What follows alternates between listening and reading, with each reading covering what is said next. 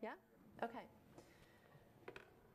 Great. Well, thank you. Um, as follow-up to the several presentations that have been uh, given about planning so far to this morning and then this great presentation about the trees, um, I'm here to offer a landscape architect's perspective. Um, as um, Jason said, my practice is based in New England and I work on landscapes of all different types, including um, streetscapes and waterfronts, uh, estate settings, uh, settings for municipal buildings, uh, public parks, and then, of course, cemeteries and burying grounds. And I think one of the reasons why uh, I've done quite a bit of work in cemeteries and burying grounds is because um, in New England, many of the cities and towns, uh, some of the only historic landscapes they have are cemeteries and burying grounds. And so that's how I come to them. Um, a, couple things I wanted to just respond to this morning. I, I, think that there's actually quite a lot of interest in um, getting involved and also financing historic cemetery and burying ground restoration. I've seen that uh, all over uh, the New England states as well as in New York. And I think one of the reasons, well, there are reasons for that. I thought about this at lunchtime. One is that um, the baby boomers are retiring. And a lot of them are becoming very interested in their, their past. They are interested in trying to preserve their communities they, they may have lived in for decades or uh, their, their, families may have lived in for generations, and they want to try to bring some uh, dignity to the burying grounds that are in those. And the second reason, uh, I think, is that, and this is especially true in New England, I can't speak about the other parts of the country, is that a lot of communities have seen cemeteries and burying grounds as uh, very vital to their heritage tourism efforts. Heritage tourism is a very big industry in New England, and people come from all over the world to see some of the oldest burying grounds in the country that we have, uh, mostly along the coast, uh, that have some of the oldest American artwork in them that it's in, in existence. And you'll see some examples of that in my talk. So I actually have a very positive outlook about the efforts that are being made, and I think that art can continue to be made, and I think we're all in a great place with that. Most of the projects I'm going to show you today are preservation plans that I have done, uh, but also ones that have begun to be implemented. So I would say that most of the work I do, do does not sit on a shelf, that it actually gets um, chipped away at little by little. And before I go, I just want to acknowledge two of my, three of my very close colleagues who are here today and also are going to be speaking this afternoon, without whom I would be um, not the successful landscape architect I am today, Jim and Minxie Fannin, who are sitting in the front row from Fannin Lehner, Fannin Lehner Preservation Consultants, and Irving Slavid, who's in the back row from Monument Conservation Collaborative. We have worked together for many, many years, and I'm going to be referring to them as I go through this. So just acknowledge them as well. Okay. We're getting some feedback, aren't we? Are we getting? Hmm. Okay. I do have a phone in my pocket. Does that help? Okay. Okay. So again, from a landscape architect's perspective, why is it important to plan? I think that we have um, heard a lot about that today, and I want to talk about it again from a designer's point of view. The first reason is that all historic cemetery landscapes are not the same. Um, and as you know, you know, we've moved through many uh, uh, centuries of history in this country. Our earliest burying grounds, um, the colonial burying grounds, uh, were very distinctive in the sense that they were irregular in layout. Often um, they are located on some of the only unaltered topography in the towns in New England. Uh, the graves were typically single, uh, laid out in rows, oftentimes uh, individuals were interred next to people who were not related to them because they were interred as they died. And they typically contain native stones and once contained native trees. So in this image here, this is a, uh, the oldest cemetery in Wilbraham, Massachusetts, which is in the Connecticut Valley. The stone uh, is made of red sandstone quarried across the state line in Connecticut, carved by a local artisan And in the background, you can see some of the remaining old sugar maple trees, which have been thriving on this landscape um, for many, many, many years until 2001 when a tornado swept through and took most of them down. Very distinctive character of the colonial burial grounds. Um, all things all changed in the Victorian era. I think that Matthew really alluded to that in his presentation very well. These were cemeteries were our first public parks, as many of you know, and they took on a very much um, uh, ornamental feel. Uh, many of them were elaborately designed, and I think this image uh, probably is an exaggeration, but it's a real photo. This is uh, the Valley Cemetery in Manchester, New Hampshire, which was established in 1840 by the Amoskeag Mill Company that built the city. It's in the middle of the city and uh, has water running through the middle of it in a stream in a valley. And in the valley, uh, the city or the, the uh, company built this elaborate park, which was used as the first public park in Manchester, complete with um, summer houses and the stream bed lined, bridges, beautiful trees, all ornamental shrubbery, full-time gardening staff who left their equipment on site. The burials were up on the hillsides above on either side. So this is actually the base of a, a large family columbarium. So again, it really took on more of the look of a, public park. So you can see this is quite different from the colonial burial ground. And then, of course, modern burial, as we move more into the 20th century, um, the landscape became much more homogenized. The markers, similar material, similar size, similar shape. Oftentimes these are laid out uh, on grids and many flush markers were used and fewer trees were often planted because of ease of mowing. The mechanization made uh, mowing a lot easier and maintenance crews wanted fewer obstructions. So what's important about all of this is it's important to know uh, where a cemetery fits into this continuum. And oftentimes, cemeteries will contain more than one style. And as a landscape architect, it's important for us to protect each of those styles so as not to change a cemetery so it all looks the same. The second is that people have talked about this a lot, the needs are large and complex and overwhelming. So uh, this is a cemetery that Irving Slavid and I worked on in Stoneham, Massachusetts, um, in the middle of this, the town. And you can see the complex problems here. Does anybody want to identify for me what they, what they are? The tree, okay, growing out of the stone. Anything else? previously repaired, marker stone. Previously repaired, and this is a copper cap that was added, we think, in the 50s or 40s to try to slow the infiltration of water. It was done on many, many of the stones in the cemetery. Uh, the other thing I would point to, again, as a landscape architect, whoops, is the chain link fencing and also the context, which has really quite changed. You know, before it was, when it was first settled as a little burying ground, it was kind of in the middle of the town with a lot of, lot of development around it, and now it's really been encroached upon by um, urban development. Other problems are, um, often these are not mapped. I'm going to talk to you about that in a little while. And just structures failing and roads failing. Here's some other problems.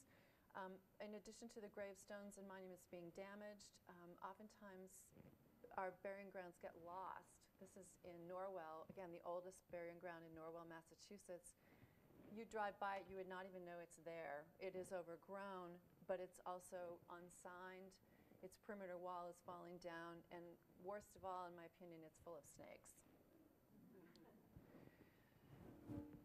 So the third reason is that for funding for this does columns come in small increments. I will say I do think it's there, but it's often in small increments. And so in planning, it's very important to design your implementation steps around that reality and uh, define what you're going to do uh, little by little. Funding can come from a lot of different sources, um, grants, private donations, and then of course don't forget volunteer labor. This is a locksmith who volunteered his time to come and unlock a tomb that needed to be um, explored as part of a planning project that we did. So now I'm going to take you to the very end of Cape Cod. and we'll talk to you about uh, some of the, what I see are the most important components in coming up with a really conservation plan for the landscape. And in my experience, have led to uh, great success and the plans actually being implemented. And this is a good example because this cemetery has really, really been um, preserved very well. This is the Winthrop Street Cemetery. It's in Provincetown, which is at the end of Cape Cod. Provincetown uh, was the original site of the Pilgrims Landing in 1622. They came there before they settled Plymouth, Har- Plymouth and stayed in Provincetown for a short time um, at the end of December, beginning of November of that year, and then left. The cemetery was established when the town of Provincetown actually emerged as a municipality uh, in the 1700s. And it is located on a dune. So in the bottom image, you can see um, this is a forested dune set back from the water, which sounds like a great idea because it's up high, but the problem is it's forested. So it's got encroachment on it all the time.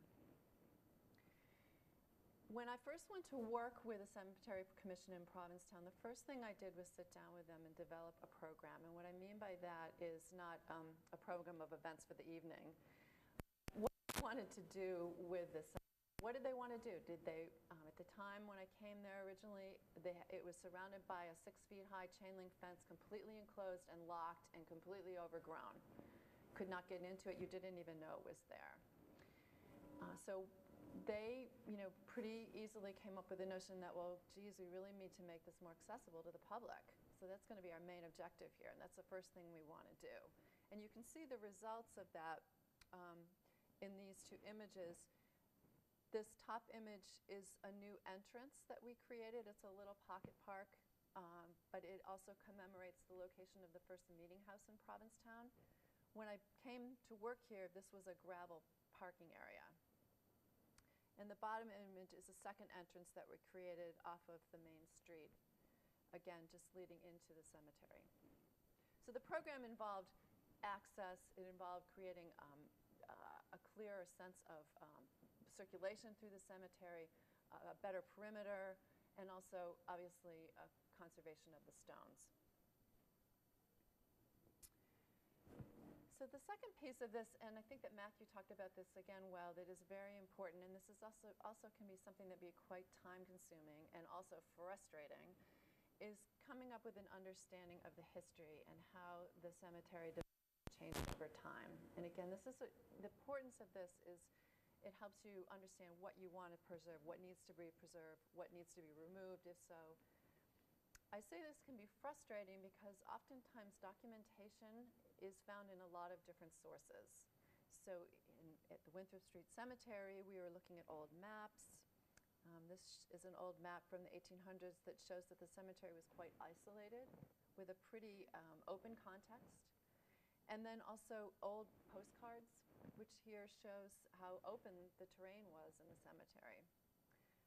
I've also been involved in you know, roaming through archives of libraries late in the afternoon when the sun's going down. I did this with Jim Fannin in Adams, Massachusetts, looking for old maps of the cemetery and finding them rolled, the original cemetery blueprints rolled up in a garbage bag.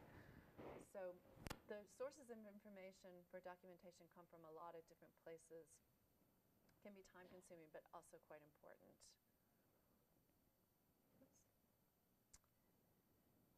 An accurate map. Now here's a really another big challenge. Uh, sometimes cemeteries are quite well documented, but I think uh, my colleagues and I would say that in New England, the early burying grounds typically were not mapped. And so one of the challenges in doing a plan, and this is important not only for restoring landscape features, but also in doing any kind of stone conservation assessment, is to have an accurate map. Um, you can imagine what it's like to create a map on top of, for, of forested dune and Irving and I worked on this project, and here's Irving's um, flagging tape. He used this to make a 40-foot grid over the entire cemetery that I then transposed onto this map down here, and he located all the individual stones within it. So together working on it, we were able to put it together that way. But um, it's not always done this way, but this is one approach. I wouldn't recommend it unless you have to, but we had to. But again, the accurate map is really important. Fourthly, again, thorough assessment, and this has been spoken about a lot today. All the different features that go into a cemetery um, need to be looked at, uh, inventoried, and also determine uh, their condition. So not only the stones, but also any kind of structural feature, the major trees, um, circulation systems. In this uh, image here, which is one of my assessment drawings, it shows uh, the different views that are possible from within and uh, looking out of the cemetery. Those are also very important to consider because it's a place that's frequented by a lot of visitors. And this town wanted it to be visible. And then um, recommendations, as I mentioned, that, that are phased. And again, I can't stress this enough that it's important to create recommendations that can be implemented in a realistic way. So in my experience, it's not, uh, uh, uh, cemeteries are usually not preserved all in one fell swoop. And I think this with the tree project, you saw that was the case.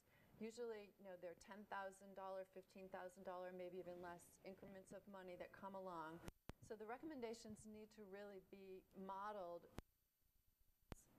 Um, these are some drawings that I did of one set of recommendations for the cemetery that helped them with clearing. So it was very overgrown, and we began by clearing some of the larger trees and then taking out some of the um, understory, which is a lot of bullbriars, and then eventually ending up with clear pathways where gravestones were exposed. But again, the recommendations need to be um, in manageable chunks. And then finally, uh, again, cannot stress this enough, the maintenance program is really critical. And this is something people almost always forget about. Like you, you do the preservation, it's all done, but then you realize that, oh my goodness, you know, we have to take care of this place over time. And in Provincetown on the forested dune, which you can see down here, uh, when I first came to the site, this is what it looked like. You couldn't even get through it. It was like you know, bushwhacking our way through a jungle. Um, and then little by little, with vegetation removed, it started to get opened up. The town has been really creative about keeping this place open. They try to get AmeriCorps volunteers to come in every year, cruise and do clearing, and, and then the DPW also does clearing as well.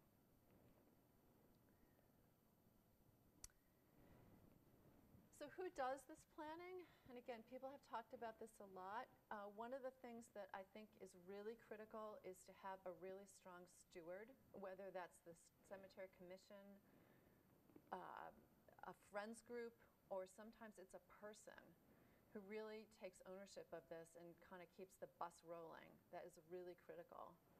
Um, I also advocate for landscape architects because we have a holistic view of the landscape and we look at landscapes as, as works of art.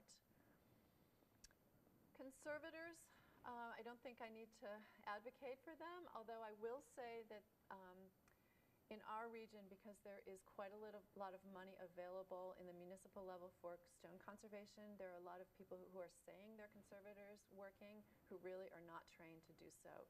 And so they come in and work on gravestones, and instead of um, conserving them, they actually ruin them. So we need to be very careful um, of who gets chosen to do that kind of work. And I think Francis Miller is going to talk a little bit about that later as well.